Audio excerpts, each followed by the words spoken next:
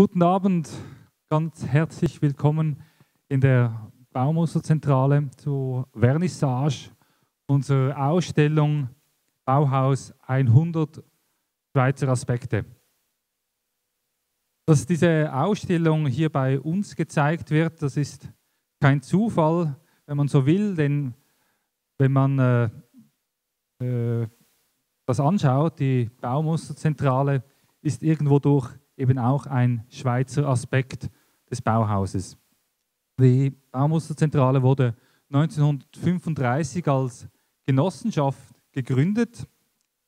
Man sieht hier ein, eine Grafik aus den Beginn, äh, äh aus den Gründerzeiten der Baumusterzentrale 1935. Das war zwei Jahre nachdem das Bauhaus geschlossen wurde.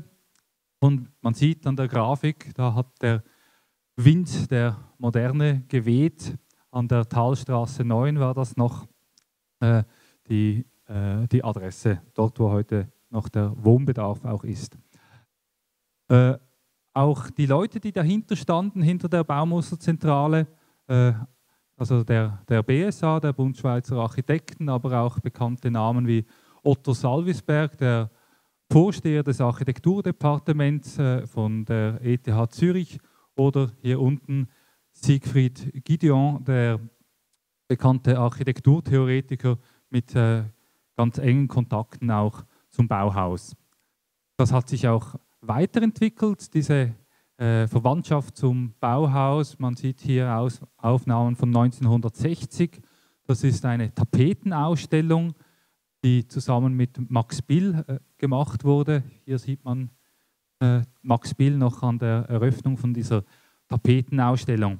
In diesem Sinne freut es uns natürlich äh, sehr, dass wir wieder anknüpfen können an unsere Ursprünge, 100 äh, Jahre nach dem Beginn, nach der Gründung des Bauhauses, können wir diese Ausstellung eröffnen. Wir haben dazu drei Referenten eingeladen. Als erstes dürfen wir Frau Monika Markgraf begrüßen. Sie ist der stellvertretende Leiterin des, der Stiftung Bauhaus Dessau. So, mehr oder weniger, also Sie können es dann noch genau sagen.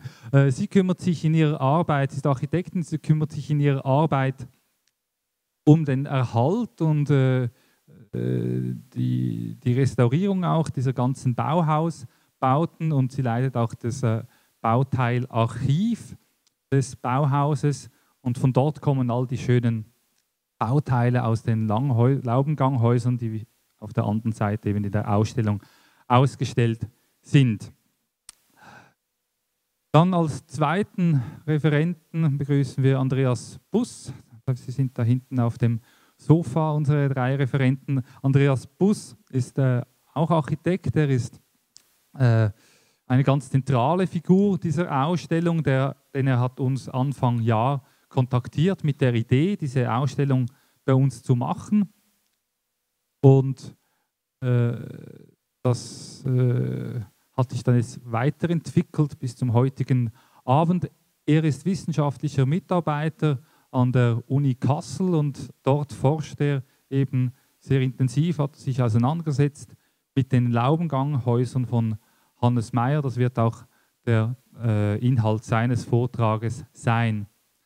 Hannes Meyer, äh, wie Sie wissen, äh, zweiter Bauhausdirektor, er war ein Schweizer, genauso wie auch eben Hans Fischli, der Bauhausschüler, ein Schweizer war. Und zu Hans Fischli wird uns dann als dritter Referent Ruggero Tropreano äh, äh, sprechen. Ruggero ist äh, eine Koryphäe, wenn es um die, die, die Moderne geht. Er ist, äh, er hat wahnsinnig viel Erfahrung auch in der Restaurierung von modernen, von Gebäuden aus der Moderne und ganz herzlichen Dank, dass auch du heute Abend zu uns gekommen bist. An dieser Stelle darf ich mich noch bedanken bei all den Unterstützern dieses Abends. Äh, ich gehe in alphabetischer Reihenfolge kurz durch. Äh, das waren zum Beispiel die Firma Embro, die diese schönen klassischen Möbel herstellen, zum Beispiel die zwei Sessel von Werner Max Moser, die da vorne stehen.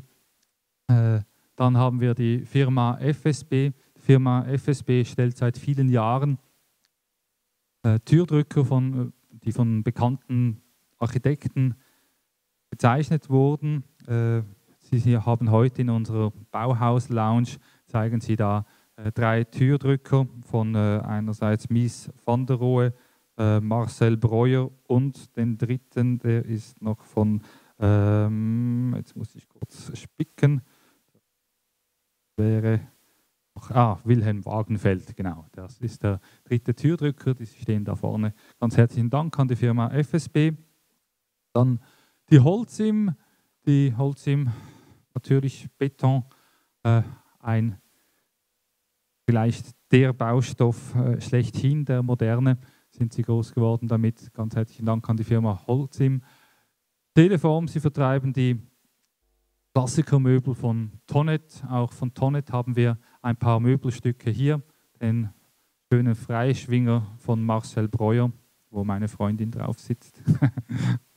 Ganz herzlichen Dank an die Firma Tonnet. Dann haben wir noch Waldhauser, Haus, äh, Waldhauser Hermann Haustechnik. Da fragen Sie sich vielleicht, weshalb die das sponsern. Sie werden das sehen heute Abend. Es geht eben bei diesen Laubenganghäusern auch um ganz stark um das Thema Haustechnik, das dazumals eine, äh, etwas ganz Neues war. Das wird dann Teil vom Vortrag von Andreas Bus sein. Ich möchte mich zudem bedanken bei den Freunden Baumuster. Das ist der Trägerverein, bei dem, wenn Sie noch nicht Mitglied sind, Sie herzlich eingeladen sind, Mitglied zu werden, denn mit Ihrem Mitgliederbeitrag unterstützen Sie solche Art von Anlässen und Ausstellungen.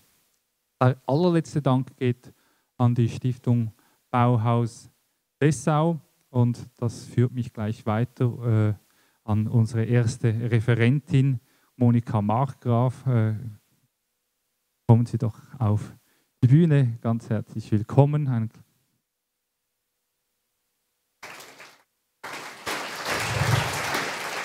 ja, die, die, Stiftung Bauhaus Dessau, Frau Markgraf, hat uns wirklich tatkräftig unterstützt, auch bei der Organisation der Logistik von Transport dieser äh, Bauteile hierher. Das war durchaus ziemlich kompliziert. also, und somit das Wort an Sie. Ganz herzlichen Dank und schönen Abend miteinander. Ja, vielen Dank für die äh, nette Einführung und vielen Dank auch für die äh, Einladung, hier dran teilzunehmen. Es freut mich besonders, diese kleine Ausstellung mit zu eröffnen, die eben Objekte aus dem Bauforschungsarchiv zeigt, aus den Laubenganghäusern. Und ähm, das will ich auch so ein bisschen in den Mittelpunkt meines Vortrags stellen. Das Ganze hat ja auch so ein bisschen den Rahmen 100 Jahre Bauhaus. Also bevor ich damit anfange, ich wollte noch sagen, ähm, ich bin äh, stellvertretende Leiterin der Bauabteilung in der Stiftung Bauhaus Dessau und eben Leiterin von diesem äh, Archiv, aber ähm, nicht die Vertreterin von unserer Direktorin. Gut, also das Ganze hat ja so ein bisschen den Rahmen auch 100 Jahre Bauhaus, 1919 bis ähm, 2019 und das Jahr neigt sich dem Ende zu. Ich nehme mal an, dass Sie jetzt über allgemeine Informationen äh, über das Bauhaus, dass Sie damit ganz gut versorgt sind und würde das deshalb ganz knapp halten. Aber eine ganz kleine Einführung in was ist eigentlich, was war eigentlich nochmal Bauhaus, würde ich doch gern an den Anfang stellen und ähm, gegründet ja 1919 in Weimar. Und Walter Gropius legte zwei Schulen zusammen, eine Kunstschule und eine Kunstgewerbeschule. Und daraus entstand das staatliche Bauhaus Weimar. Und diese Zusammenlegung, die zeigt auch ein bisschen das Programm vom Bauhaus. Es ging nämlich darum, ähm, gestalterische und technische, handwerkliche Aspekte bei der Herstellung von Produkten miteinander zu verbinden und zwar am Bau.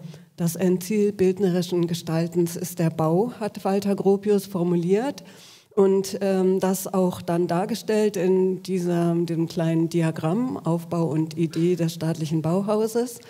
Man sieht, der Bau steht im Zentrum des Ganzen und äh, das, obwohl eine eigentliche Bauabteilung erst 1927 dann mit Hannes Meyer gegründet wurde. Ähm, aber trotzdem zielte die Ausbildung am Bauhaus darauf hin. Und ähm, das ähm, Herz der Ausbildung fand in den Werkstätten statt. Und ähm, die Werkstätten wurden geleitet jeweils von einem Werkmeister und einem Formmeister. Auch das zeigt schon wieder diese äh, Intention, die gestalterischen und die handwerklichen oder technischen Aspekte zusammenzubringen. Das ist ein Blick in die Metallwerkstatt 1923, der Formmeister Laszlo Moholy-Nagy und äh, der Werkmeister Christian Dell, der davon abgesehen ja auch selber begnadeter Leuchtenentwerfer war, in dem Fall aber dann in der Funktion als Werkmeister in der Metallwerkstatt. Ja, 1923 auch die große Bauhausausstellung in Weimar die stand so unter dem Motto Kunst und Technik eine neue Einheit von Walter Gropius geprägt, dieses Motto. Und ähm, ja, das ist eben auch wieder diese Gedank dieser Gedanke, diese Aspekte zusammenzubringen. Das Bauhaus in Weimar musste schließen oder wurde geschlossen und äh, das war aufgrund von politischen und wirtschaftlichen Schwierigkeiten. Und ähm, man hat einen neuen Standort gesucht. Da gab es mehrere Orte, die das Bauhaus gerne bei sich aufgenommen hätten. Das Rennen machte Dessau. Und äh, zwar deshalb, weil die Bedingungen in Dessau einfach die besten waren. Was nämlich möglich war, es konnte die Schule als Neubau entstehen, es konnten auch die Meisterhäuser als Neubauten entstehen und der erste Abschnitt in der Siedlung Dessau-Törten. Das heißt, das Bauhaus konnte endlich richtig bauen. Und damit konnten in Dessau dann diese Bauten als gebaute, ich sag mal so gebaute Manifeste der Bauhausideen entstehen. In Dessau waren auch alle drei Bauhausdirektoren aktiv. Der Gründer Walter Gropius verließ ja das Bauhaus 1928. Sein Nachfolger dann, der Schweizer Hannes Meyer, der äh, wichtige Impulse für die Reform des, der, des Bauhauses gegeben hat und dann aber 1930 aufgrund seiner politischen Aktivitäten ähm, hinausgeworfen wurde. Sein Nachfolger dann, Mies van der Rohe, 1930. Und ähm, Mies van der Rohe ähm, ja, versuchte so einen unpolitischen Kurs konnte aber damit auch nicht verhindern, dass 1932 das Bauhaus in Dessau dann geschlossen wurde, aufgrund von Druck durch die Nationalsozialistische Partei, die einen entsprechenden Stadtratsbeschluss dann herbeiführte. Mies ähm, hat dann in Berlin die Schule noch weitergeführt als privates Institut dort und auch da sind die Arbeitsbedingungen aufgrund von Aktivitäten seitens der Nationalsozialisten so schwierig geworden, dass ähm, das Institut dann dort auch geschlossen wurde, und zwar im Frühjahr 1933. Also eine relativ kurze Spanne, in der das Bauhaus aktiv war. Und trotzdem hat es ja eine weltweite Strahlkraft entwickelt und das hat viele Gründe, denen wir jetzt im Einzelnen gar nicht nachspüren können. Das würde die 20 Minuten sprengen.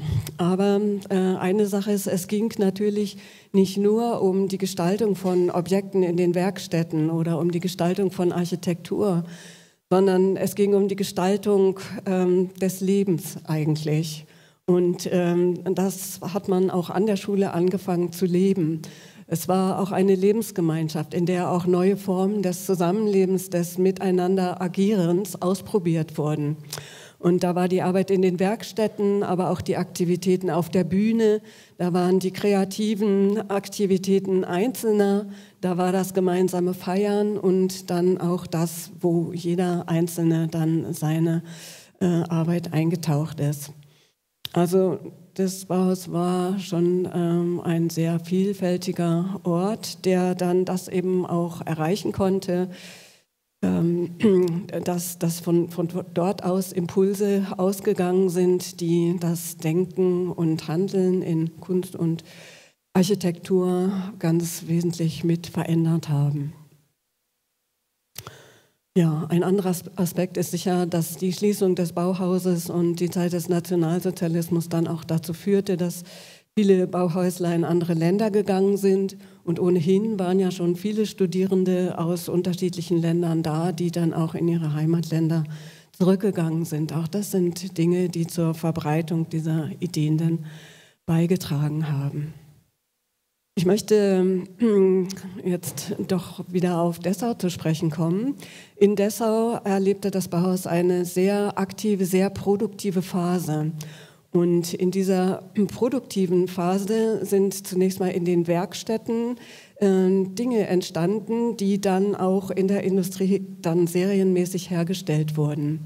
Das war das Ziel, mit dem man in Dessau gearbeitet hat, in den Werkstätten Prototypen entwickeln und Partner in der Industrie finden für die serienmäßige Produktion.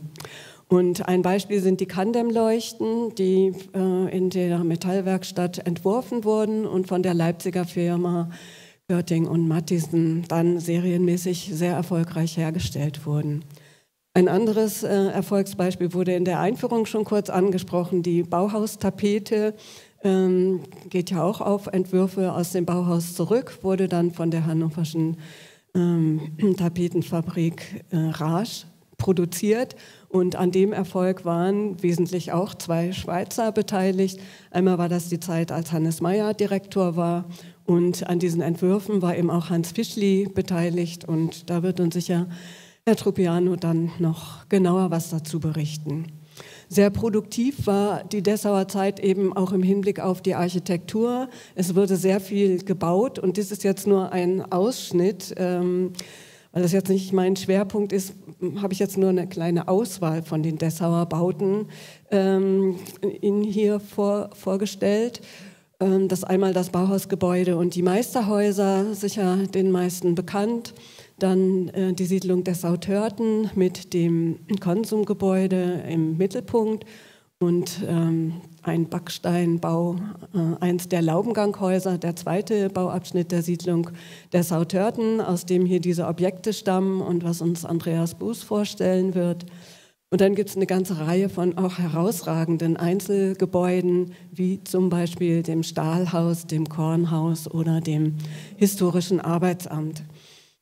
Ähm, jedes einzelne dieser Objekte wäre einen ganzen Vortrag wert, aber ich lasse das jetzt mal so stehen, dass Sie einfach mitnehmen. Da gibt es eine ganze Fülle auch zu entdecken. Ja, und neuerdings gibt es noch ein weiteres besonderes Gebäude, das Bauhaus Museum, was in Dessau ja im September eröffnet worden ist. Und äh, die Sammlung der Stiftung Bauhaus Dessau beherbergt die Bauhaussammlung. Und ähm, ja, die Stiftung Bauhaus Dessau ähm, ist eine ähm, Stiftung, die ähm, der also nicht nur diese besondere Sammlung an Bauhausobjekten gehört, sondern eben auch einige von den Bauhausbauten. Da ist das Bauhausgebäude selber, auch die Meisterhäuser, auch das Stahlhaus gehören zur Stiftung Bauhaus Dessau und weitere Bauhausbauten, unter anderem auch äh, eine Musterwohnung in den Laubenganghäusern, werden genutzt von der Stiftung Bauhaus. Und zwar für ihre Aufgaben, äh, die sie hat. Und diese Aufgaben betreffen das historische Bauhauserbe, dieses ähm, zu pflegen, dieses zu erforschen, dieses der Öffentlichkeit zu vermitteln und vor diesem historischen Hintergrund sich auch mit ähm, Fragen der Gestaltung in heutiger Zeit auseinanderzusetzen. Und zu diesen Aufgaben, die die Stiftung äh, Bauhaus Dessau hat, gehören eben auch ähm, die historischen Bauten zu pflegen. Also dazu vielleicht lieber nochmal das historische Gebäude. Also die ähm, zu pflegen und äh, instand zu halten, das gehört zu den Aufgaben, aber auch sie zu erforschen.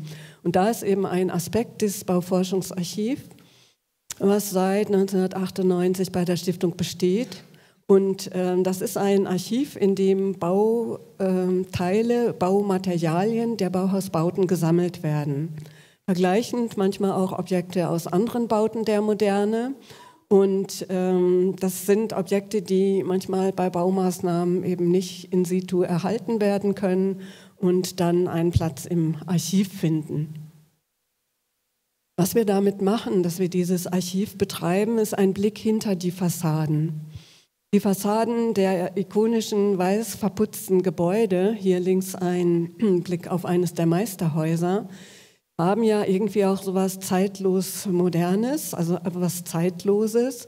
Und ähm, man versteht manchmal gar nicht ganz genau, was eigentlich auch das Besondere im Hinblick auf die Konstruktion und im Hinblick darauf, dass diese Bauten ja auch fast 100 Jahre alt sind, was dann das Besondere ist.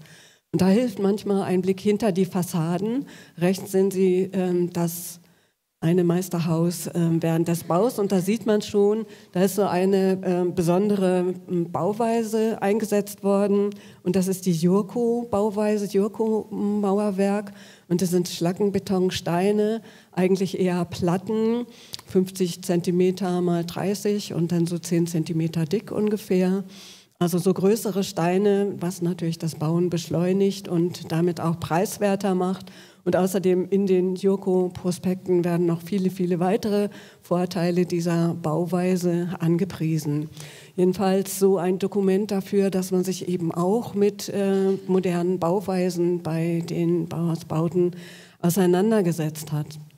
Ein anderes Beispiel äh, ist das Dämmmaterial Torfoleum. Das besteht aus Torf, das ist gepresst und imprägniert und wird als Dämmung ähm, auf Dächern oder auch Fußböden ähm, von den Bauhausbauten eingesetzt. Und das zeigt eben, dass man sich auch zunehmend mit ähm, solchen Dingen wie Wärmedämmung auseinandergesetzt hat. Einerseits, weil die Architektur der Moderne mit großen Glasflächen und immer mehr minimierten Konstruktionsweisen ähm, dann das auch erforderte. Andererseits natürlich auch, weil die Komfortbedürfnisse gestiegen waren. Das ist ein anderes Beispiel, ein Fußbodenbelag, den sieht man zwar, wenn man durch das Gebäude geht, aber man versteht ihn nicht, weil man würde auf den ersten Blick natürlich denken, dass es sich um Linoleum handelt als Fußbodenbelag. Das ist aber nicht der Fall. In ähm, dem Bauhausgebäude und Meisterhäusern wurde Triolin, Fußbodenbelag, eingesetzt und ähm, das ist ein Kunststoffbelag, entstanden auf Basis von Nitrocellulose mit Füllstoffen und so weiter. Und ähm, bei genauerer Betrachtung unterscheidet er sich eben sehr wohl von Linoleum. Es hat eine andere Farbpalette, das Material ist dünner, es hat einen anderen Glanzgrad und ähm, es altert anders. Also sind dann doch viele Unterschiede, die ja für den Raumeindruck dann auch wichtig sind, vorhanden. Es ist ein industriell hergestelltes Produkt aus den 1920er Jahren. Es konnte sich auf dem Markt nicht durchsetzen und wurde schon in den 1930er Jahren wieder eingestellt, diese industrielle Produktion. Und das ist eben auch ein Problem ja von Bauten der Moderne, wo so industriell hergestellte Materialien eingesetzt worden sind, sind sie eben auch bei Reparatur oder Austauschbedarf eigentlich gar nicht zu ersetzen. Anders als eine Eichenholzdiele, die kann man austauschen, aber so ein Triolinfußboden, den kann man eben nicht austauschen. Ja, auch das ein Grund, ähm, weshalb wir Reste, die wir ähm, bei, also aus den Bauhausbauten, aber auch aus anderen Bauten der Moderne in äh, unserem Archiv sammeln und es dann äh, bei Bedarf für Reparaturen auch noch einsetzen können. So ist es äh, geschehen jetzt bei der letzten Reparatur am Kandinsky-Kleehaus. Auch beim Bauhausgebäude lohnt es sich, mal genauer hinter die Fassaden zu schauen oder eigentlich lohnt es sich, ähm, auch schon mal ein bisschen genauer auf die Fassade zu schauen. Ähm, denn ups, auch diese Architektur, die ist ähm, ja ganz wesentlich mit der Materialität verbunden und Walter Gropius war sich dessen auch sehr bewusst.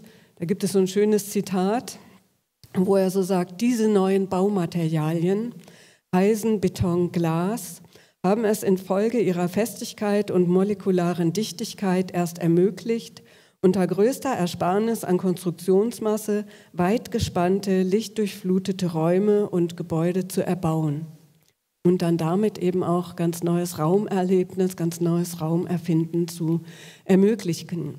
Insofern spielen diese Materialien beim Bauhausgebäude eine ganz große Rolle. Und ähm, dann nehme ich mal beispielhaft, beispielhaft ein Material und betrachte es mit Ihnen zusammen etwas genauer, und zwar das Material Glas. Da muss ich jetzt gleich noch ein kleines Zitat hinterher schieben. Denn ähm, Arthur Korn hat so schön beschrieben, was eigentlich das Besondere am Glas ist. Und damit zeigt sich die große Eigenart des Glases allen anderen bisher angewandten Materialien gegenüber. Es ist da und es ist nicht da. Es ist die große, geheimnisvolle Membrane, zart und stark zugleich. Es schließt und öffnet, nicht nur in einer, sondern in vielen Richtungen. Diese Fülle von Eindrücken, die das Glas hervorzurufen imstande ist, macht seine eigentliche Stärke aus. Und äh, dafür ist das Bauhausgebäude wirklich ein Musterbeispiel. Und ich hoffe, dass jetzt diese Bilder so ein bisschen davon transportieren können, dass eben diese Eigenschaft des Glases einerseits transparent zu sein und andererseits zu reflektieren, dass das die ähm, Architektur maßgeblich prägt. Und dieses historische Foto links, äh, eine Aufnahme von Lionel Feininger, äh, zeigt eben, dass man sich sehr wohl eben auch damals schon damit auseinandergesetzt hat. Das Glas, was da eingesetzt wurde an äh, diesen Fassaden am Bauhausgebäude, ist Kristallspiegelglas. Kristallspiegelglas ist ein besonderes Glas, was sich dadurch auszeichnet. Das ist, ähm, das sieht man ähm, rechts auf diesem, äh, dieser Abbildung, das ist aus einem Prospekt von dem Verband der Spiegelglasindustrie.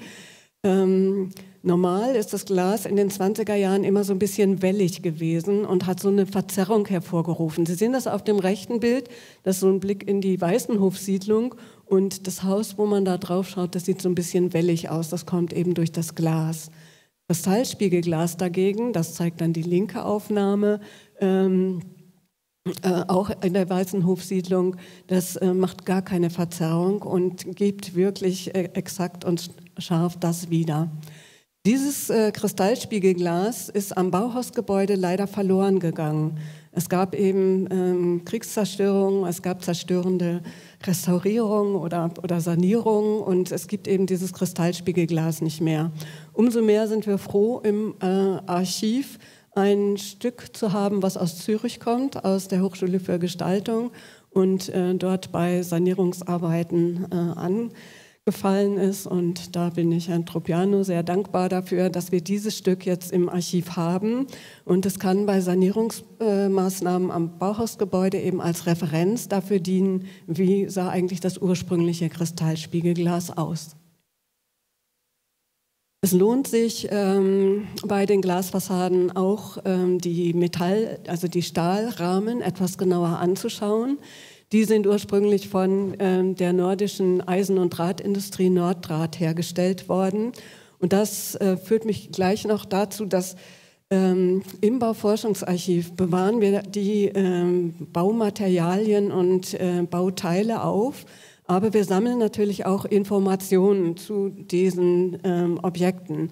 Und hier eben zum Beispiel so einen historischen Prospekt. Wir hatten vorhin schon auch einen vom Joko-Mauerwerk.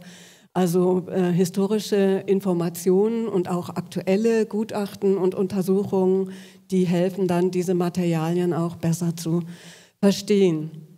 Aber zurück zu diesem Fenster, ähm, wo wir über das Glas schon was gehört haben. Und äh, dieser Rahmen ist eben ein Stahlrahmen und der hat auch eine besondere Geschichte. Denn also das Bauhausgebäude ist ja im Krieg 1945 ähm, teilweise auch zerstört worden. Und auf dem rechten Foto sehen Sie ähm, die Vorhangfassade, die, ich habe jetzt das Foto von der Zerstörung nicht mit dabei, die Vorhangfassade war zerstört und sie ist 1976 rekonstruiert worden. Das sehen Sie auf dem rechten Bild, die Eröffnung, nachdem diese Vorhangfassade rekonstruiert worden ist. Ähm, es entspricht im Detail und vom Material her nicht dem, was wir heute unter Rekonstruktion verstehen würden. Aber es war natürlich ein ganz großer Schritt, dass überhaupt diese gläserne Fassade, dass überhaupt auch diese Raumwahrnehmung, dass das wieder möglich war. Und ähm, das war 1976. Zeitgleich, wo man also ein verloren gegangenes Bauelement, die Vorhangfassade, rekonstruiert hat, zum gleichen Zeitpunkt hat man, das zeigt das linke, Bild ähm, vorhandene bauzeitliche Fenster aus dem Gebäude entfernt und durch vereinfachte Nachbauten ersetzt. Also das ähm, muss man sagen, ist natürlich jetzt auch schon ähm, 40 Jahre her, also ziemlich lange schon her. Und heute würden wir das anders machen. Damals ist es eben so gemacht worden. Aber einige von diesen Fenstern ähm, haben die Zeiten überdauert, indem sie als Gartengewächshaus genutzt worden sind. Wenn man genau hinguckt, dann erkennt man schon das historische Fenster da drin. Die Stiftung Bauhaus hat dann diese ähm, Fenster wieder ans äh, Bauhaus geholt. Sie sehen, wie aus dem Gewächshaus dann durch Restaurierung, Ergänzen von verlorenen Teilen äh, wieder Fenster entstanden sind und die sind dann auch am Gebäude wieder eingebaut. Diese Geschichte kennt Herr Tropiano auch, der zu der Zeit auch äh, an der Sanierung vom Bauhausgebäude tätig war. Ähm, das zeigt, ich finde das wirklich auch eine wichtige Geschichte. Das zeigt eben, wie die Wertschätzung ähm, innerhalb von 25 Jahren sich um 100 Prozent äh, oder nee, 180 Grad dreht ähm, dass Fenster weggeworfen werden und 25 Jahre später mit großem Aufwand dann wieder ans Gebäude gebracht werden. Einige dieser Fenster befinden sich eben auch im Archiv und ähm, ja, stehen da zur Verfügung. Ähm, dass dieses Bauforschungsarchiv entstehen konnte, verdanken wir ganz wesentlich auch einem Forschungsprojekt, was bei der Stiftung Bauhaus äh, von 1998 bis 2001 gelaufen ist. Und da ging es um die Erforschung der Bauhausbauten. Und der ähm, Andreas Schwarting, der das bearbeitet hat, ist inzwischen Professor in Konstanz und ähm, hat den Schwerpunkt auf die Erforschung der Siedlung der Sautörten gelegt.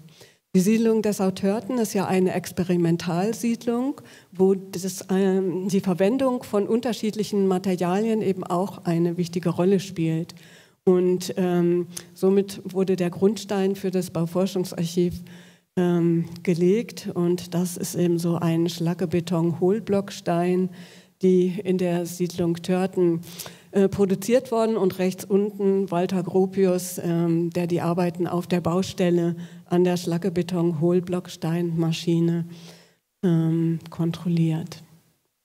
Das Bauforschungsarchiv hat dann noch ähm, einen zweiten Entwicklungsschub bekommen, wieder durch ein Forschungsprojekt, was bei der Stiftung angesiedelt war und sich äh, schwerpunktmäßig mit der Erforschung von Architekturoberflächen, insbesondere Fußböden, zugewendet hat. Und ähm, damit äh, gibt es also auch einen Schwerpunkt ähm, Fußböden im Archiv. Und hier als Beispiel ein Steinholzestrich aus der Siedlung des Sautörten, bei dem die Deckschicht rot pigmentiert ist. Das ist nicht immer so und ich denke, das sind hier ja auch Steinholzböden. Und äh, dann auf dem rechten Bild äh, sehen Sie eben auch einen Zweck, den dieses Bauforschungsarchiv hat, dass man die Materialien untersuchen kann, um dann auch geeignete Pflege- und ähm, Restaurierungsmethoden zu entwickeln. Und da rechts, da geht es eben um geeignete Methoden zur Risssanierung in dem Steinholzestrich. Manchmal stehen Dinge aus dem Archiv auch für Rekonstruktionen zur Verfügung. Hier ähm, sehen wir ein äh, Gebäude, links der bauzeitliche Zustand und rechts der Zustand ähm, vor der Sanierung des Gebäudes. Das ist ein äh, besonderes, weil dieses Gebäude Doppelreihe 35 in der Siedlung Törten in einem so guten Zustand innen erhalten ist, dass es heute ähm, museal genutzt wird, weil innen drin fast alles noch erhalten ist, einschließlich Metroklo. Und äh, nur an der Fassade waren eben Änderungen vorgenommen. Deswegen hat man sich entschieden, da an der Fassade äh, zu rekonstruieren und diese, ähm, diese Glasbausteine, die hier eben nicht mehr vorhanden sind, nachzubauen mit Unterlagen aus dem Bauforschungsarchiv, ähm, seien es jetzt so Dokumente, seien es eben solche Glasbausteine aus anderen Objekten, konnte dann so eine äh, Metallform entwickelt werden, mit der diese Glasbausteine nachgebaut und dann am Gebäude wieder eingebaut werden. Und in der Siedlung des Autörten, das sind ja Privathäuser von privaten Eigentümern, können wir jetzt diese Metallform ähm, auch zur Verfügung stellen, wenn andere Bewohner auch wieder diese gläserne äh, Eingangsbereich herstellen wollen. Das ähm, ist ja für den, den Flur dahinter sehr schön, weil dann eben auch Licht dort ist. Ja, ähm, ich glaube, das ist jetzt der, der letzte Aspekt. Es gibt auch einen künstlerischen Aspekt, äh, unter dem die Materialien im Archiv betrachtet werden. Und das ist hier eine Arbeit von Fritz Torsmann. Der ist äh, Mitarbeiter bei der Albers Foundation ähm, in USA. Und Josef Albers hat im Vorkurs, in der Vorlehre am Bauhaus unterrichtet. Und da ging es sehr viel eben auch um die Auseinandersetzung mit Materialien. Äh, gar nicht unbedingt, was kann man draus machen, sondern was haben die für Eigenschaften? Sind die rau, sind die glatt, sind die groß, sind die klein, sind die glänzend und so weiter. Und davon inspiriert ähm, hat ähm, Fritz Horstmann dann eben diese Assemblage erstellt, wie es ist so eine Komposition aus den Materialien mit ihren besonderen Eigenschaften. Ja, das ist ein Blick äh, in die Ausstellung, wo diese Assemblage ein Teil davon ist. Das ähm, ist im Bauhausgebäude zu sehen und zeigt eben auch Objekte aus dem Bauforschungsarchiv. Übrigens diese ähm, Ausstellungsgestaltung ist auch schon wieder ein Schweizer äh, Architekturbüro gewesen. Das äh, geht auf Holzer Kobler Architekten zurück. Normalerweise werden die Objekte nicht irgendwo gezeigt, sondern sind im Depot äh, aufbewahrt. Und ähm, zu allen diesen Objekten gibt es einen Datensatz, wo die knapp und kurz beschrieben sind, wo Hinweise sind auf weitere Materialien, Informationen, die es dazu gibt. Dann kriegen die alle so einen kleinen Anhänger mit den wichtigsten Informationen zur Orientierung und werden dann mehr oder weniger gut aufgereiht in ähm, dem Depot aufbewahrt. Ja, Laubenganghäuser ähm, will ich jetzt zu den Häusern selber gar nichts sagen. Ich sage jetzt mal zu den Objekten, da wusste ich jetzt nicht ganz genau. Ähm, wir haben ja hier Objekte aus den Laubenganghäusern und nur damit Sie mal ein paar von den Objekten auch im Zusammenhang sehen, das ist die Eingangstüre und ähm, da gibt es auch eine besondere Geschichte dazu, weil es, es gibt dann, es ist schon ganz kurz nach Eröffnung eine zweite Eingangstüre dazugekommen. Aber das wird sicher Andreas Bus noch erzählen. Das ist die äh, Zimmertüre, die wir hier sehen, die ähm, eben in diesen kleinen Räumen eingesetzt ist. Die Farbgebung, auch ganz interessant, so eine neutrale Farbgebung, die ähm, jetzt gerade Anfang dieses Jahres fertiggestellt wurde, aufgrund von Erkenntnissen aus, dem, aus diesem Forschungsprojekt ähm, zu den Laubenganghäusern. Die Heizung rechts sehen Sie mal so einen von den Heizkörpern, die wir ja hier im Raum auch haben. Und links den Brenner, den ähm, wir hier leider nicht zeigen können, weil der eben in dieser Museumswohnung in den Laubengangshäusern äh, zu sehen ist und über den dann diese Heizkörper er erhitzt werden.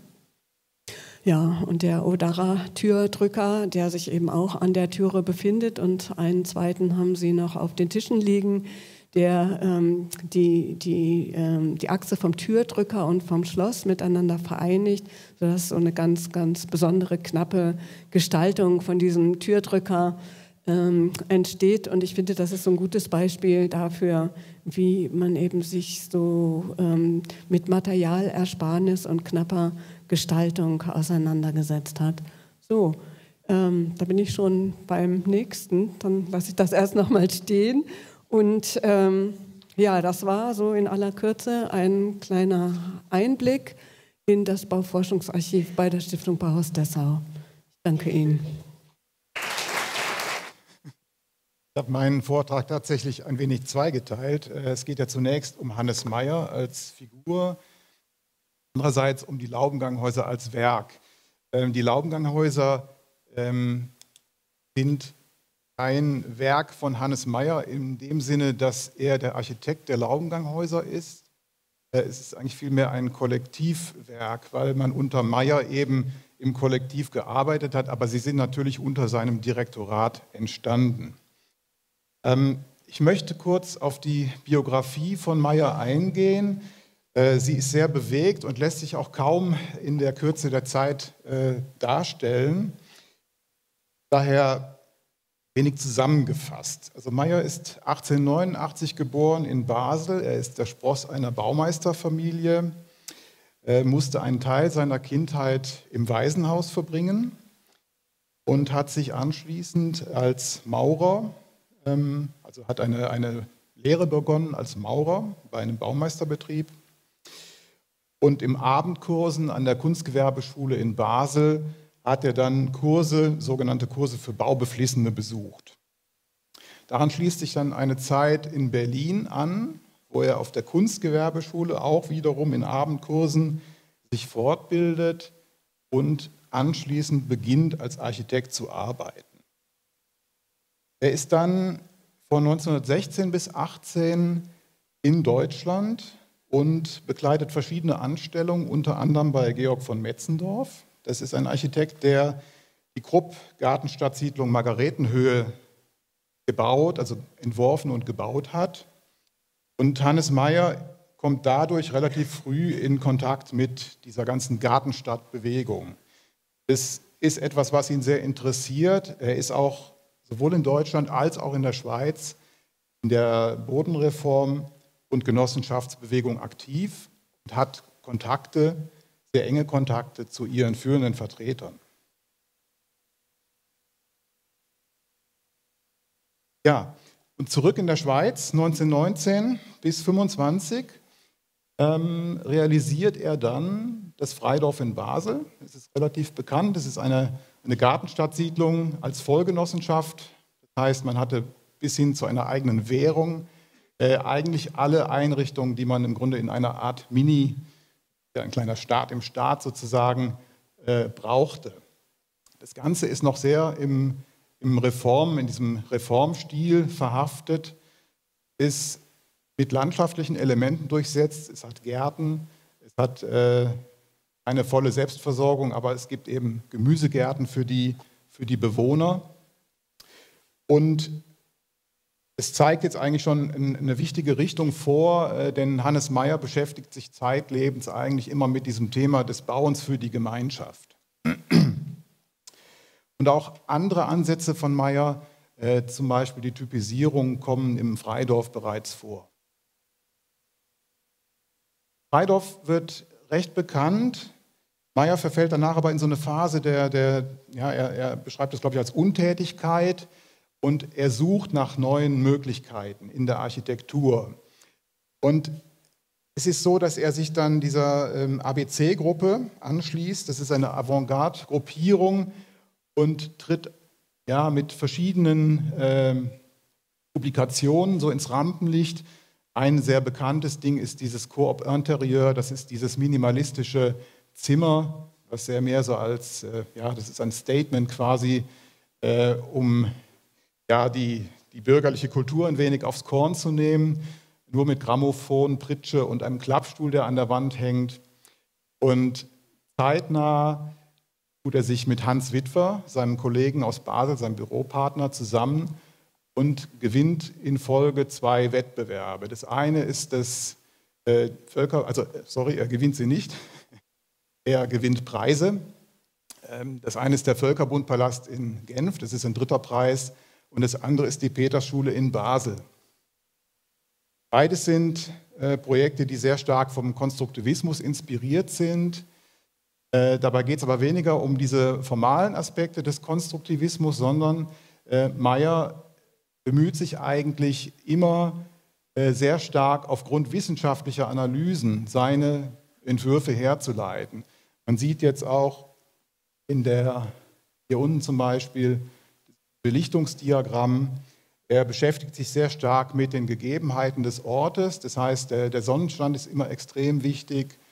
Äh, auch, die, auch weitere Parameter wie Akustik, Einflüsse ähm, aus der Nutzung, das fließt alles in seine Entwürfe mit ein.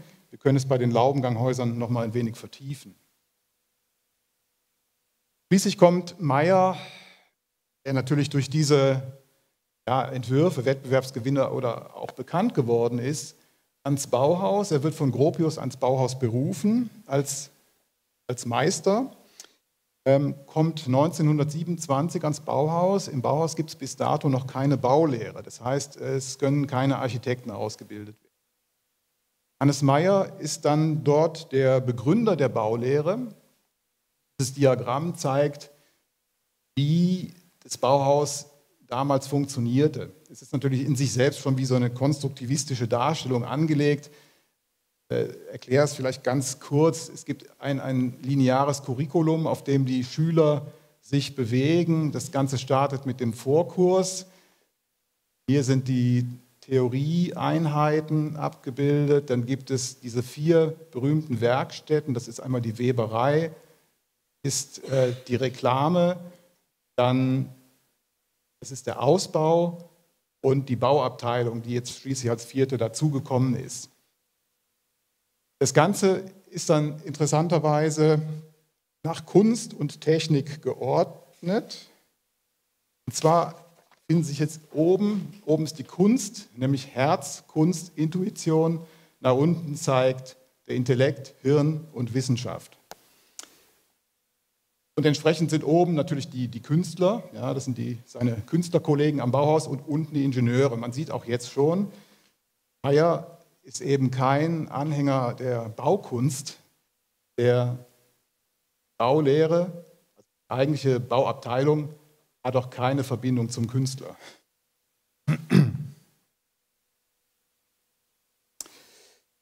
Ja, unter Meyer äh, orientiert sich das Bauhaus neu. Das Bauhaus versucht, ähm, das hat Frau Markgraf gerade schon angedeutet, Anschluss zu finden an die produzierende Industrie. Das war natürlich auch unter Gropius schon der Fall. Man versucht es aber jetzt zu intensivieren. Da sind die Tapeten ein Produkt. Es gibt aber auch eine ganze Serie neuer Möbel.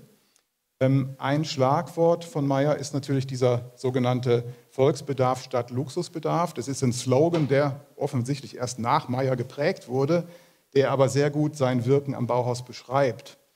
Und das heißt, man versuchte, ja, ich würde mal sagen, fast smarte Möbelentwürfe herzustellen. Das sind dann solche Klapp, ja, Klapptische, zerlegbare Objekte, die sich eben äh, verpacken und verschicken lassen. Es ist ein, ein anderer Ansatz äh, der Möbel als wie diese klassischen Stahlrohrmöbel äh, unter Marcel Breuer noch repräsentiert hatten. Auch die Themen der, der Ergonomie, Sie sehen hier diese, diese, diese Formen, äh, spielen plötzlich eine Rolle. Und insgesamt sind die Materialien auch etwas einfacher. Man hat viel mehr Holz, weniger Stahl.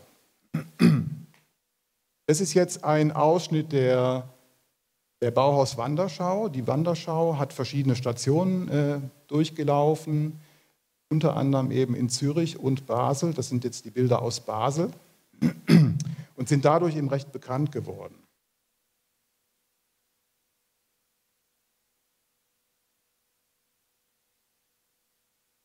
Während seiner Zeit am Bauhaus, er wird ja dann 1928 zum Direktor, also schon relativ früh nach Gropius Rückzug, ist es äh, so, dass er mit seinem Partner Hans Witwer und dem Bauhaus einen Wettbewerb gewinnt für die ADGB-Schule in Bernau bei Berlin.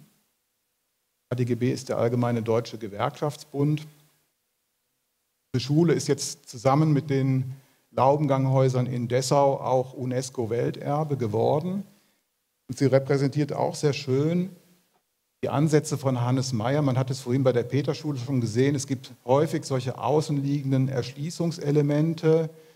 Er arbeitet sehr stark mit der Landschaft, also er verändert das Terrain eigentlich nicht. Der See ist auch natürlich dort, staffelt die Gebäude in die Landschaft. Es gibt eine, eine plastische Bewegung im Grundriss und auch im, im Aufriss. Das Ganze untermauert er immer mit wissenschaftlicher Untersuchung. Das heißt, hier sind zum Beispiel für die für die Wohnräume, Sonnendiagramme. Auch die Möblierung wird immer mit, aufgeführt, mit, mit äh, gedacht. Es wird nie ein Raum einfach als leerer Raum entworfen, sondern es wird immer äh, berücksichtigt, was die Menschen in diesem Raum tun.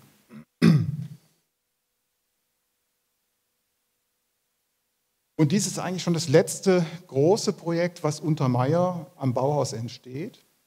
Das Bauhaus hatte ja unter Gropius, wie ich schon sagte, eigentlich keine Bauabteilung. Infolgedessen wurden die Bauaufträge, die Frau Markgraf vorhin vorgestellt hat, im Büro Gropius entwickelt, durchgeführt. Und das änderte sich dann unter Meyer. Und ein sehr großes Projekt für die Bauabteilung des Bauhaus waren dann eben die Laubenganghäuser in Dessau-Törten. Wobei die Laubenganghäuser eigentlich nur einen Ausschnitt aus dem Ganzen darstellen, denn die Planung war noch wesentlich weitergehend. Werde jetzt aber trotzdem die Biografie nochmal fortsetzen, denn Meyer wird ja schon, es klang vorhin an, 1930 von seinem, Kost, von seinem Posten als Direktor ja, entfernt. Äh, seine sozialistische Gesinnung war bekannt, sie war eigentlich immer bekannt. Äh, man hat ihm dann eben kommunistische Umtriebe vorgeworfen. Es kam zum Konflikt und zum Machtkampf mit dem Bürgermeister von Dessau, der schlussendlich äh, ja, im längeren Hebel saß. Meyer ist dann äh, sehr bald in die Sowjetunion gegangen, um dort am sozialistischen Aufbau mitzuhelfen. Man sieht ihn jetzt hier in, bereits in Moskau und er bleibt von 1930 bis 1936 in Moskau, entkommt dann diesen stalinistischen Säuberungen ähm, nur knapp, anders als einige seiner Schüler, äh, ist dann 36 in der Schweiz zurück. Er findet hier natürlich nur schwierig Anschluss und realisiert ein einziges Gebäude, das ist das Kinderheim in Mümliswil. Auch gleichzeitig das letzte Gebäude von Hannes Meyer überhaupt. Er geht dann 39 nach Mexiko, verbleibt dort für zehn Jahre, hat da verschiedene Posten im Städtebau als Berater. Ähm, es ist relativ wenig erforscht, aber kehrt dann wiederum nach zehn Jahren zurück, ist in der Schweiz äh, aber fast eigentlich nie mehr richtig Fuß. Hannes Meyer ist auch eine, in gewisser Weise eine tragische Figur, die so zwischen die Fronten geraten ist. Natürlich der, der Kalte Krieg spielte eine Rolle, aber er war hier von vornherein als Kommunist abgestempelt und den Sowjets war er im Grunde genommen zu, zu modern, zu bürgerlich, zu weltbürgerlich besser.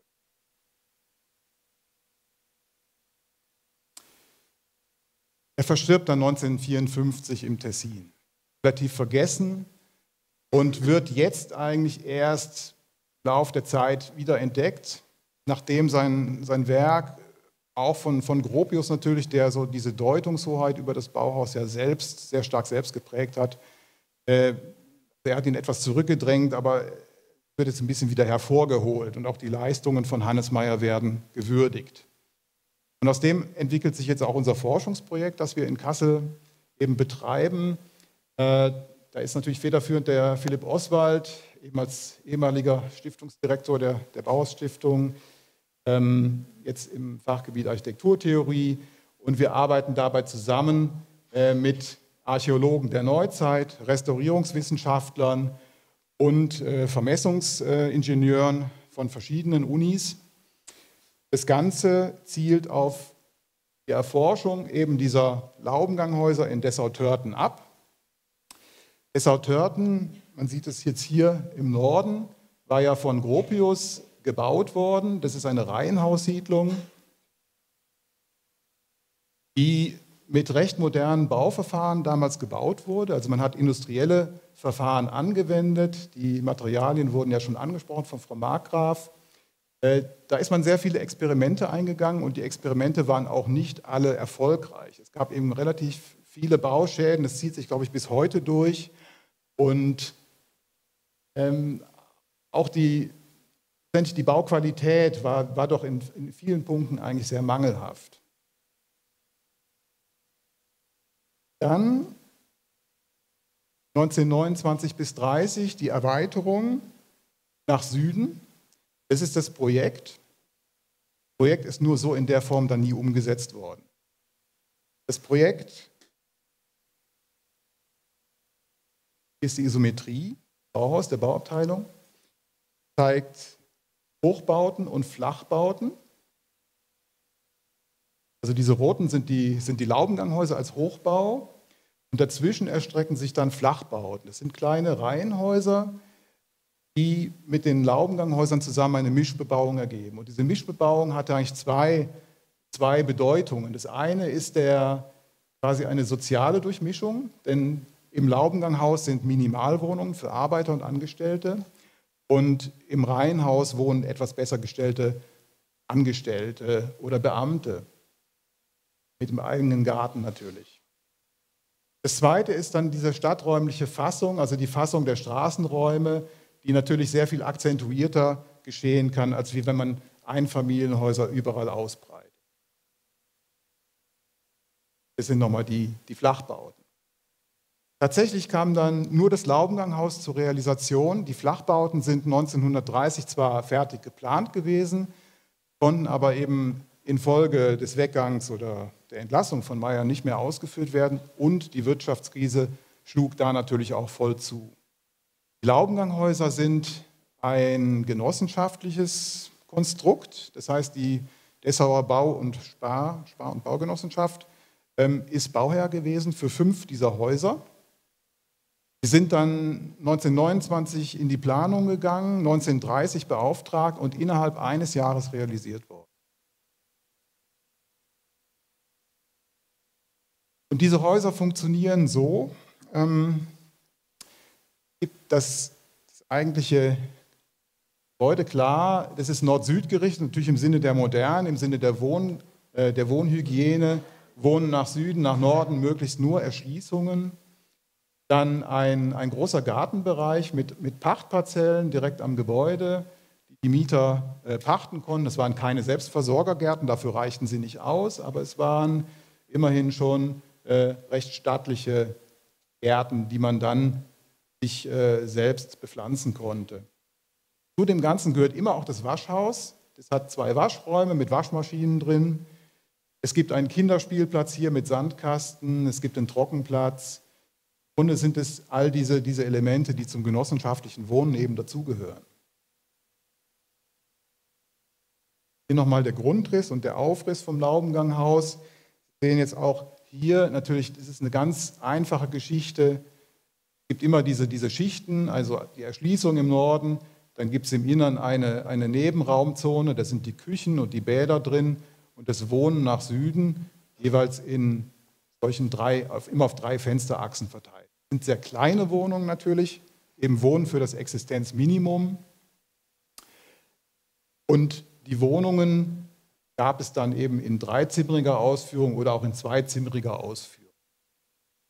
Das Bauhaus selber hat die Wohnungen ähm, für die Besichtigung in Dessau möbliert. Das heißt, drei Musterwohnungen waren eingerichtet. Leider nicht sehr gut dokumentiert. Sonst wissen wir heute, welche Möbel da drin gestanden haben. Das wäre schön, aber äh, das ist jetzt alles ein wenig spekulativ. Ähm, die Möblierungspläne sind natürlich damals gezeichnet worden, aber nur als Grundriss. Man weiß also de facto noch nicht ganz genau, äh, was dann tatsächlich drin gewesen ist. Was aber ganz sicher ist, ist, dass die, dass die Bäder voll ausgestattet waren und dass auch die Küche voll ausgestattet war. War auch für eine Arbeiterwohnung der damaligen Zeit nicht unbedingt selbstverständlich. Die Bauten standen dann eben, weil diese Flachbauten dazwischen nicht kamen, relativ lange einsam auf der Flur in Törten. Ähm, es kam dann schließlich so, dass die ganze Siedlung erst unter den Nationalsozialisten fertiggestellt wurde, natürlich nicht im Sinne des Bauhaus. Allerdings haben die Nazis auch Aspekte dieser Siedlung, wie es Bauhaus vorgegeben war, übernommen. Also zum Beispiel die Eingeschossigkeit, aber es ist natürlich dann ja, in, in, in, einem völkischen Stil, also in traditionalistischer Art mit Satteldach und verschiedenen äh, Holzverkleidungen oder verputzten Häusern ausgeführt worden. Ich bin froh, dass Frau Markgraf dieses Bild von heute gezeigt hat, weil ich habe eigentlich nur historische Aufgaben, weil sich unser Projekt um das Historische dreht. Die Häuser selber sind von der Konstruktion im Gegensatz zu den Gropiushäusern sehr konventionell. Es sind gemauerte Bauten, Ziegelbau, Sichtmauerwerk, 38 Zentimeter, das war Standard im Wohnungsbau. Äh, die Besonderheit ist tatsächlich ähm, die Sichtbarkeit des Mauerwerks. Denn ich kenne jetzt nur ein Bauhausgebäude, das ist das Arbeitsamt von Gropius, das auch Sichtmauerwerk hat. Alles andere ist eigentlich verputzt und weiß Und Hannes Meyer ähm, hat mal diese Aussage gemacht, dass er eben den Baukörper als Akkumulator der Sonnenwärme versteht. Das eben auch als Argument für diese, für diese Sichtmauerwerksbauweise.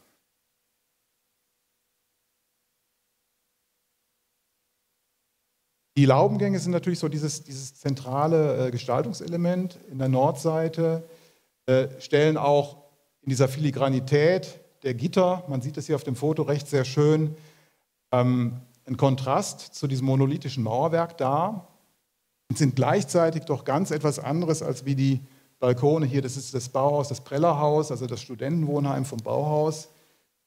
Zitierte ja noch viel mehr diese, diese Schiffsrehlingsästhetik während das hier jetzt plötzlich mit industriellen Standardprodukten daherkommt. Das heißt, es ist ein Weltradgitter, das kennt man heute noch, ist eigentlich, äh, erscheint es uns relativ banal, aber es ist natürlich im Sinne von Hannes Meyer ein, ein, ein sehr einfaches Standardprodukt, was sehr leicht zu verarbeiten ist und schlussendlich äh, auch ästhetisch dann doch sehr überzeugend rüberkommt. Oben sehen Sie, wie das hergestellt wird. Sehr einfach, wie ein Gewebe aus, aus Draht. Das ist die Südseite der, der Häuser. Man sieht jetzt, ähm, dass die Fenster tatsächlich auf nur zwei Typen reduziert sind. Es gibt einen Fenstertyp für das Zimmer und einen Fenstertyp für das Wohnzimmer. Es ist klar, das Wohnzimmer ist das größere, hat die tiefere Brüstung, sodass man auch, äh, ja, sodass auch Kinder herausschauen konnten. Das ist in anderen Zimmern nicht möglich gewesen. Interessant ist, dass es äh, unter den Laubenganghäusern einen Block gibt mit Holz, äh, zwei, sorry, drei Holzfensterblöcke und zwei Stahlfensterblöcke. Ähm, warum die Differenzierung gemacht worden ist, äh, lässt sich im Nachhinein nur noch schwierig äh, belegen. Es könnte bauphysikalische Gründe gehabt haben, es könnten aber auch einfach die Kosten eine Rolle gespielt haben.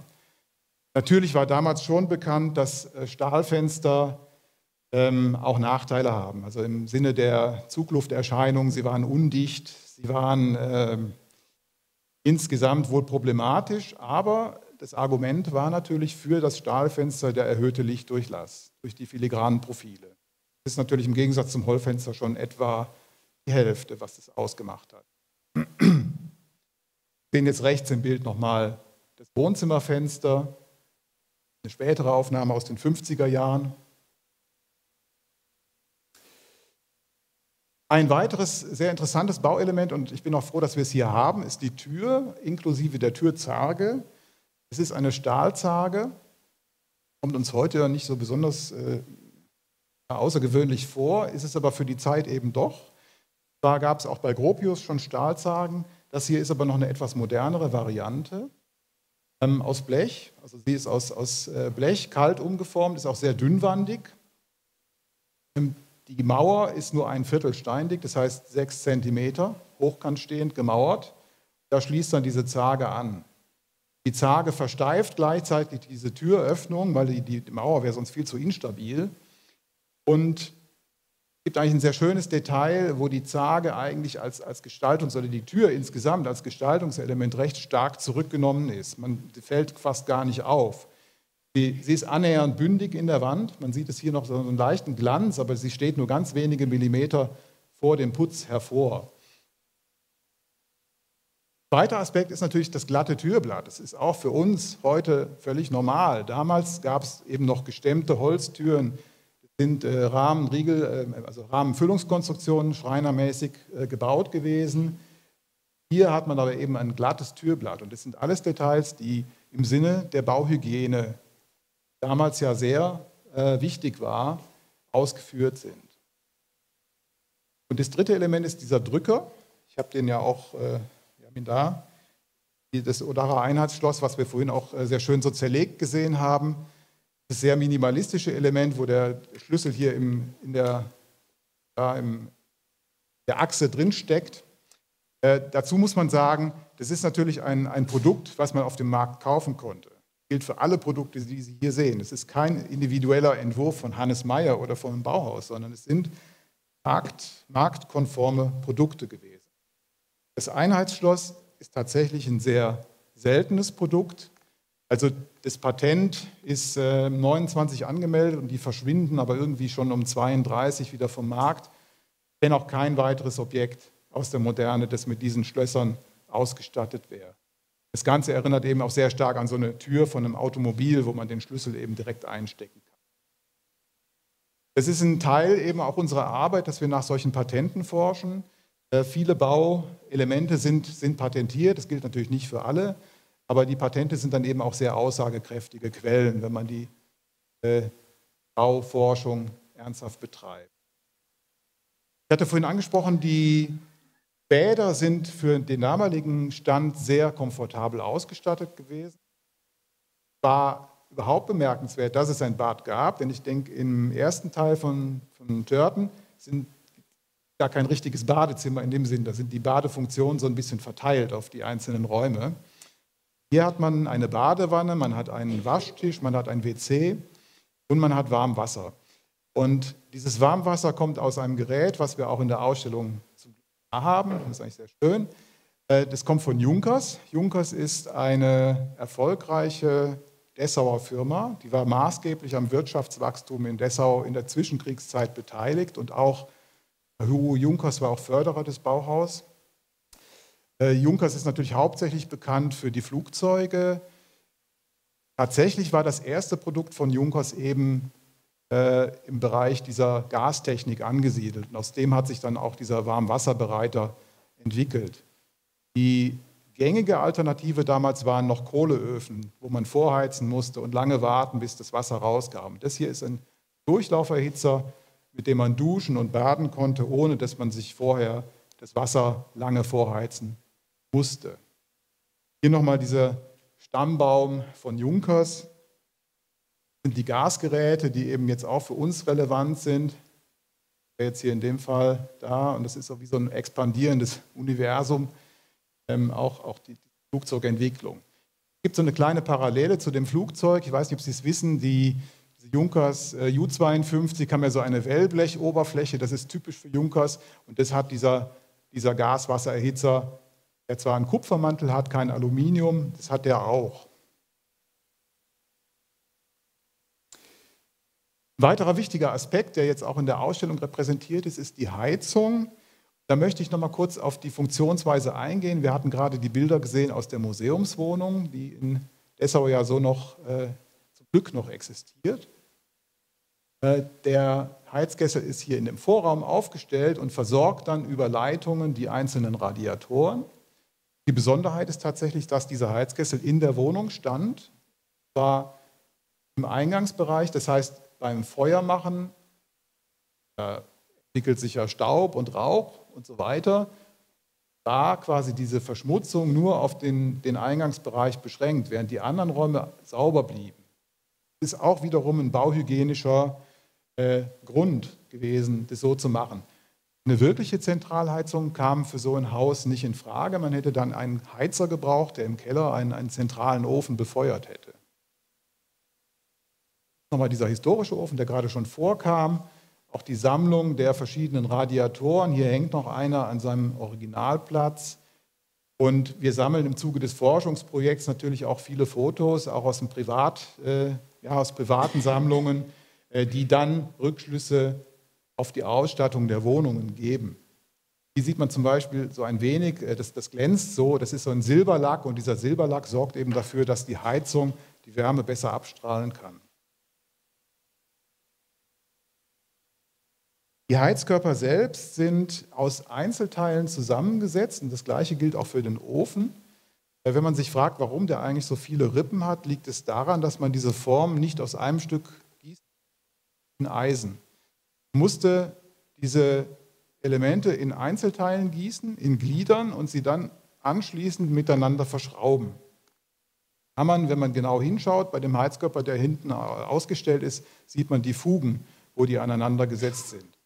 Schrauben befinden sich im Innern, das kann man nicht sehen. Ja, ich möchte damit jetzt auch schon schließen. Ähm, ich möchte nochmal darauf hinweisen, das klang vorhin ja auch schon an bei Frau Markgraf. Äh, die Architektur besteht eben nicht nur aus Mauern, sondern eben auch aus, aus technischen Elementen, die eben ganz maßgeblich zum, zum Wohnkomfort beitragen und die auch ein ganz wesentlicher Aspekt der Moderne sind. Und das sind Elemente, die vielfach äh, in der Vergangenheit von, ja, von der Denkmalpflege und auch in den Kunst, äh, Geschichte eigentlich vernachlässigt worden.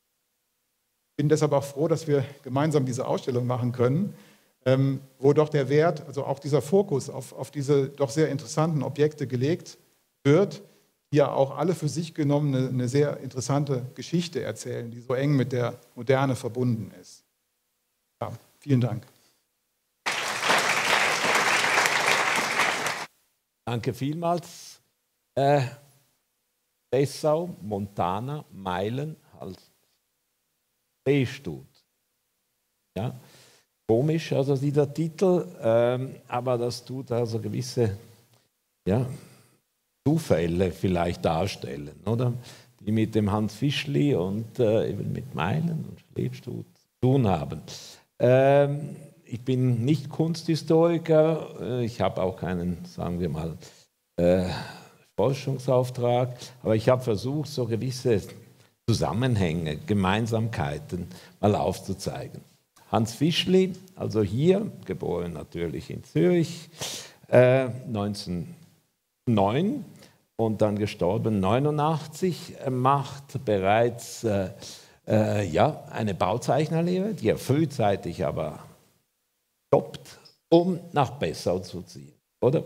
Äh, das Zweite ist, also wo ich dann nachher geschaut habe, oh ja, da gibt es irgendeine Gemeinsamkeit also mit Max Bill, mit dem er zusammen dann am Bauhaus war. 27, äh, 28 machen sie mit zusammen an einem Kindergarten Wiediko mit Max Bill. Dann am Bauhaus, dann, oh, da kommen wir wieder zu Hannes Meyer, da gibt es Tapeten, oder? Hier die Lehrer, die er hatte, die Meister, die er hatte, Josef Albers, Wassili Kandinsky, Paul Klee und Oskar Schlemmer. Dann kurz weiter, Itten, Steiger, Hubacher, äh, Itten ein bisschen ausgeklammert, Steiger und Hubacher ein Büro in Zürich und Itten und Steiger bauen im Montana das Sanatorium Bellary und 33 Atelierhaus Schlestutt und dann natürlich Direktor Kunstgewerbeschule Zürich und Museum. Äh, ich zeige hier nur ganz kurz oder, diesen Beitrag oder, von äh, Max Bill, mit Max Bill von äh, Hans Fischli, oder? Zürich Vidikon 28, oder? Das ist auch noch interessant, oder?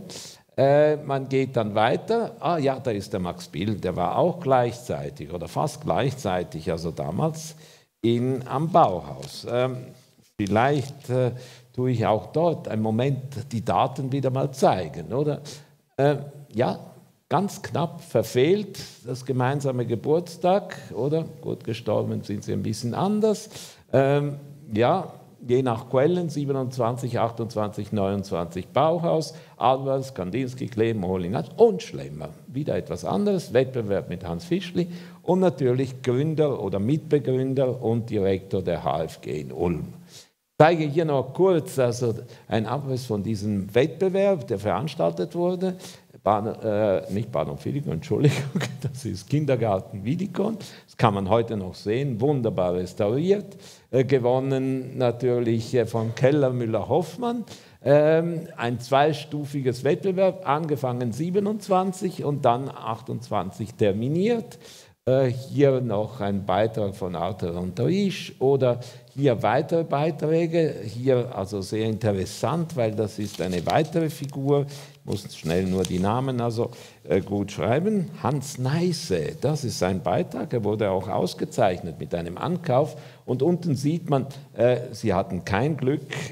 in der Jury war Otto Rudolf Salvisberg und fünf, vier Ränge und zwei Ankäufe, aber da waren die zwei nicht dabei. Aber zumindest haben sie zusammen einen Wettbewerb gemacht. Hier zwei, drei Bilder oder Kindergarten Bauhaus, das ist eine Publikation von Arthur Jörg. Und weil das ist für Amtsburg Hochbauten, ist das saniert worden, ein wunderbares. Hier, ich habe mir erlaubt, dieses Buch aufzuschlagen und man sieht also das ganze Thema des, äh, ja, wie man von innen nach außen schaut.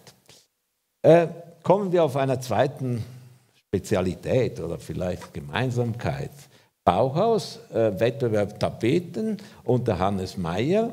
Äh, Hans Fischli gewinnt, oder? Erfolgreiche Muster aus Studentenland, das habe ich aus dem Internet gefunden, Vergangenheit, Muster und so. Ich benutzte auch Gabeln, den Kamm, den Rasierapparat ohne Klingen, alles, was mit Zähnen bewaffnet ist und Lücken hatte. Ich nahm Papier, ich mischte Farb, Reihe, ich trug sie auf und wartete die richtige Phase des Eintrocknens ab und fuhr mit meiner Ecke über das feuchte Feld, zog kreuz und quer in Wellenbewegungen darüber. Das sind so ein bisschen die Schilderungen, wo er mit diesen Tapeten damals also einige Preise, also Preise, äh, Ausgezeichnungen worden ist. Und interessanterweise, der, damals ein grandioser Erfolg, damals gerade 19-jährigen Schweizer Bauzeichner, Bauzeichner, nicht ganz Bauzeichner, Hans Fischli an der Akademie und, und das ist also ein Thema und das sind später, das ist meine Sammlung aus dem Bauhaus, gebeten aus den 2000er Jahren oder hier mit dem Gropius und hier sieht man, also man kann diese Tapeten heute immer noch, glaube ich, erwerben, oder? Ah, oh, da kommt etwas anderes, das ist ganz lustig. Also wenn man weiter forscht, findet man ja natürlich eine Freundin vor dem Hans Fischli, oder? Weil eine, er war auch äh, interessanterweise, glaube ich, viermal verheiratet, aber das ist auch interessant. Er studierte am Bauhaus, Margaret Camilla Leiteritz, zusammen mit Hans Fischli gewann Leiteritz am Bauhaus den Wettbewerb für die Bauhaustapete, aus dem die noch heute produzierte Bauhauskollektion der Tapetenfabrik Gebrüder Rasch Branche hervorging. Hier ein Foto natürlich von der Camilla, Margaret Camilla, 31. Ähm, hier noch ein bisschen äh, ein, äh, eine Biografie, Sie können das lesen, ich muss, glaube ich, ein bisschen schneller gehen, aber trotzdem so einige äh, Illustrationen von ihr, wo sie gemacht hat. Ich zeige es deswegen, oder, weil es ist interessant, also so gewisse Gemeinsamkeiten. Nachher in der Art oder äh, mit äh, Hans Fischli. Jetzt kommen wir natürlich hier zum sogenannten Montana-Zyklus. Oder? Hans Fischli kehrt zurück, äh, ja, muss wieder schaffen, geht natürlich bei Hubacher, Steiger und die schicken ihn nach Cramontana, wunderbare Berge und so weiter, dort ein bisschen bauleitend an diesem Sanatorium Bellevue zu arbeiten. Oder? Und äh, in dieser Zeit entsteht dieses Montana-Zyklus, oder? Das sind die Zeichnungen Montana 1930 oder von Hans Fischli. Erinnern Sie sich die Striche also von der Camilla, also von vorher. Es hat so eine gewisse Ähnlichkeit vielleicht, oder? Oder besonders hier. Deswegen habe ich die Bilder mal zusammengetan, nur ein bisschen zu zeigen, also wo es gewisse Parallelen geben könnte. Ittensteiger, Hubacher, Montana Bella Lui, ein Sanatorium, später Hotel und heute Jugendherberge. Oder? Hier einige Abbildungen aus der Publikation äh, im Werk, oder? Und auch damals noch in der schweizerischen Bauzeichnung, oder? Äh, ein wunderschönes Objekt, oder? Wo immer noch besteht in dieser traumhaften Situation von diesem Gran Montana. Das ist so eine Stadt in den Bergen, die aber völlig als Retortenstadt, also für Wintersport, für Sanatorien entstanden ist. Oder hier einige Bilder aus der Zeit. Ich entschuldige mich, die sind nicht so ganz scharf, weil das ist ein PDF. Ich wusste nicht, ob man mit äh, äh Apple arbeitet oder nicht, aber es ist so. Hier ein Foto, den ich gemacht habe, also eben, weil ich bin fast in Cremantana geboren äh, und in der Zeit habe ich das immer wieder angeschaut. Das sind die wunderschönen Schiebefenster aus Stahl aus diesem Sanatorium Bella Louis, die leider als solche nicht mehr vorhanden sind. Ich zeige deswegen, oder weil da kommen wir wieder zu dieser Mechanik, zu Stahl und äh, so gewisse Gemeinsamkeiten vielleicht. Das sind Fotos. Ich war, glaube ich, sieben Jahre lang sogenannter Bundesexperte für das Sanatorium Bella Louis wegen der Sanierung, mit der Fassadensanierung und äh, zuletzt nur ganz kurz, also in der Phase, wo es dann als äh, äh, praktisch Jugendherberge umgebaut worden ist. Das ein Zustand von damals. Und das ist natürlich ein Zustand, also wie es dann restauriert worden ist, oder unter Beibehaltung also sämtlicher Teile, also es ist fast nichts ausgewechselt worden. inklusive die Liegen oder die Möbel, also die dort auf diesen Terrassen in diesem Sanatorium die Sonne also einfangen, also für die Leute dort, die die Ruhe und Erholung suchen. Oder hier nochmals ein paar Fotos, ich mache jetzt ein Teil, hier natürlich Schweizer Fahne. Und jetzt kommen also so ein paar interessante Aspekte. Terrassen natürlich, oder? Das ist auch ganz wichtig. Das ist die Terrasse in der anderen Richtung, oder? Äh, hier, wie sie heute natürlich als Jugendherberge, da auch dankend sind natürlich die Embro, Alfred Altherr äh, liegen auch noch dabei, die berühmte Altherr-Liege, Embro Möbel. Also ich muss sagen, wenn Sie Zeit haben, bitte gehen Sie da in der Jugendherberge natürlich, da kann man auch als normale Person gehen und das ist die fantastische Landschaft mit diesen Terrassenlandschaften, die dort sind und hier dieser Haupteingang. Montana, Schweizer Jugendherbergen oder und das ist etwas, wo ich ein bisschen initiiert habe. Damals mit einem Kurs haben wir ein Inventar aller Bauten oder äh, von Montana gemacht. Äh, man muss immer wieder so ein paar Striche machen. Ja, das gibt's nicht mehr, das gibt's nicht mehr, das gibt's nicht mehr. Aber zumindest ja, ein Inventar ist erstellt worden. Und hier das Sanatorium Bella Louis. Ich zeige es auch deswegen, oder wegen dieser äh, dieses Bild, oder? Das ist diese Art, mit Terrassen zu arbeiten, oder? Wo ein wichtiges Thema war in dieser Moderne, oder? Natürlich die Ausrichtung gegen Westen, Süden, Westen, oder? Das ist eine unwahrscheinliche Ausrichtung dieser Hochebene.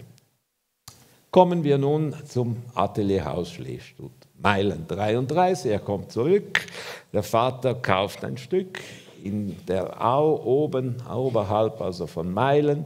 Und äh, da wird ein Haus gebaut, natürlich auch in einer Art Vorfertigungsmethode. Das ist ein Holzhaus mit Stahlgerüst. Oder ich gehe nicht weiter dort, ich tue jetzt eher einen Spaziergang machen, also in diesem Haus. Aber trotzdem ein paar äh, Teile aus dem Auszug, also der kantonalen Denkmalpflege, des Inventars. Hier sieht man, da ist die Schleestutt, heute mitten in der sogenannten Freihaltezone, damals noch nicht so ganz. Das sind Bauernhöfe, also hier rundherum und mit einer unglaublichen Aussicht, die ich Ihnen nachher nicht vorenthalte. Und hier noch die Grundrisse. Ah, da sieht man wieder so Terrassen, also wunderbar, eine Treppe, die raufgeht, oder? Äh, das ist das Erdgeschoss, das erste Obergeschoss und oben das Atelier des Meisters, oder? So hat es ausgesehen, wie ein kleines Schiffchen, oder? Äh, damals, oder Holz horizontal verlegt, eine Lerche, aber das Holz war nicht behandelt. Aber natürlich, es ist äh, praktisch fast ein Pultdach, oder? Wenn man die Schnitte sieht und so, also mit Auskragungen, das hätte man bemängelt an die sogenannten modernen Gebäude, mit einer sehr interessanten Interpretation natürlich auch des Geländers, oder? Das haben wir vorhin auch gesehen, und das die Stirnfassade in der frühen Form, oder? Und das die hintere Fassade dieses Schiffes, also wie es in der früheren Form dastand. Also wirklich ein Wunderwerk. Also das ist die Ebene, die Wohnebene. Hier unten hat es auch Räume gehabt. Die Heizung ist hier untergebracht und hier das Atelier mit der Terrasse. Ungefähr eins zu eins die Fläche von Atelier und Terrasse. Oder jetzt sieht man hier, hier ein Embro Gartenstuhl mit Polsterung. Hier ja, jemand. Äh, immer noch, man sieht, hier hat es noch eine offene Veranda.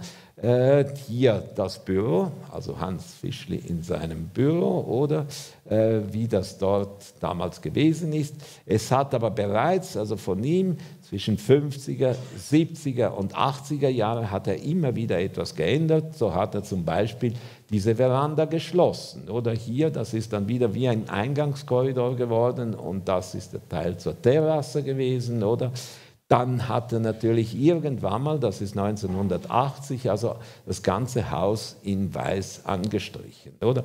Und hier natürlich sein Skulpturenpark, also vor Ort, vor dieser Fassade. Oder?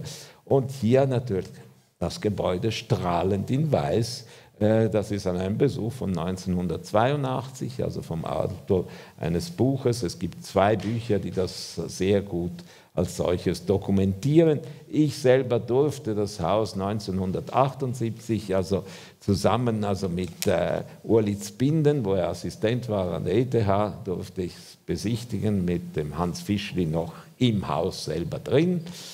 Und äh, gut, hier haben wir etwas nachgestellt. Mit Freunden haben wir uns erlaubt, eine alte Delage mal aufzunehmen, oder damit man dieses korbüsische Effekt vom alten Auto zum modernen Haus trotzdem immer wieder noch sieht. Das ist immer so eine schöne Darstellung.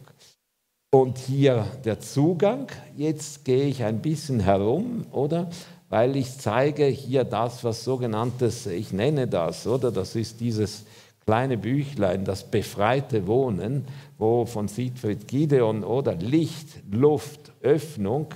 Und ich zeige jetzt, wie sich das entwickelt. Also ich steige diese Treppe rauf, dann komme ich rauf, öffne die Türe und sehe zur Terrasse und einer unwahrscheinlichen schönen Blutbuche, die damals also auch gepflanzt worden ist. Hier sind wir in diesem kleinen Korridor. Dieser Korridor geht dann Richtung im Bereich, also wo das Wohnzimmer und Esszimmer ist. Es ist umgebaut worden, es ist nicht mehr ein Ateliershaus. Das hat mit ganz wenigen Veränderungen, also Frank Glor, auch ein wichtiger Architekt von Zürich, man erinnert sich an sehr viele Bauten in Basel und Zürich, Theaterbauten von ihm. Und äh, das ist jetzt die Wohnung, wie ich sie heute erleben darf, weil natürlich jetzt habe ich die Gelegenheit, in diesem Atelier zu wohnen, oder? Und das ist die Terrasse, gerade also vor kurzem fotografiert, also äh, wie das Haus jetzt heute steht.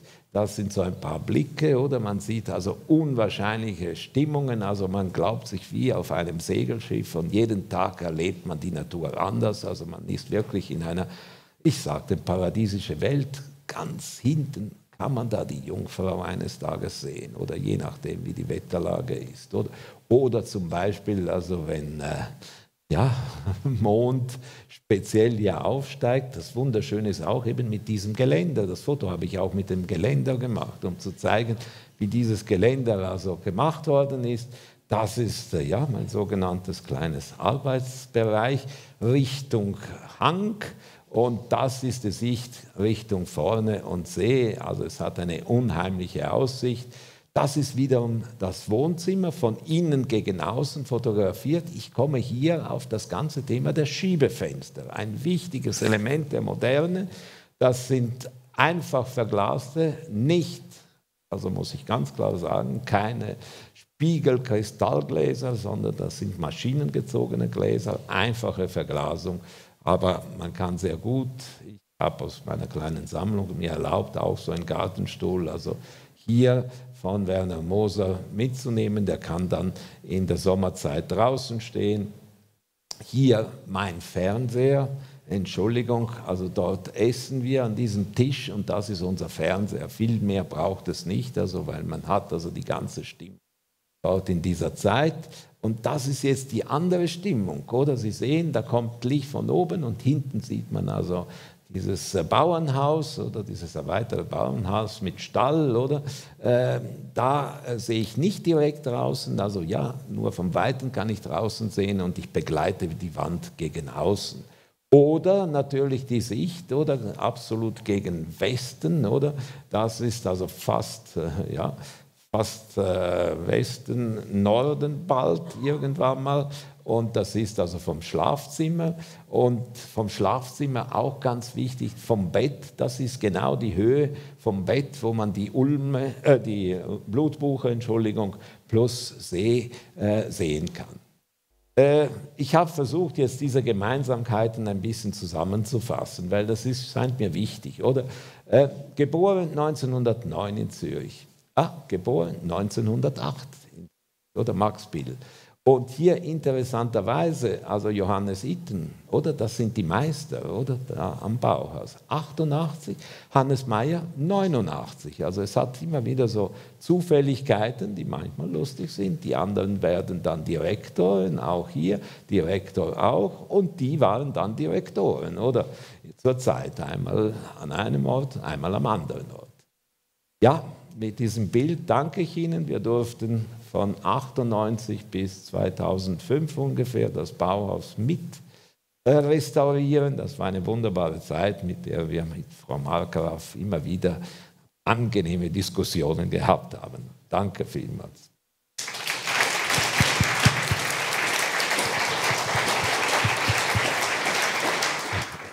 Ganz, ganz herzlichen Dank an äh, Ruggero Tropiano, Andreas Bus und Monika Markgraf für diese wunderbaren Vorträge. Jetzt bleiben noch zwei Sachen zu tun. Einerseits die Ausstellung selber zu entdecken und zweitens äh, mit uns anzustoßen. Vielleicht sind ja auch die Referenten noch etwas hier. Ich denke schon, da können Sie vielleicht auch noch die eine oder andere Frage direkt an Sie richten. Ich wünsche einen ganz schönen Abend miteinander und hoffe, Sie bald mal wieder hier begrüßen zu dürfen. Machen Sie es gut. Danke.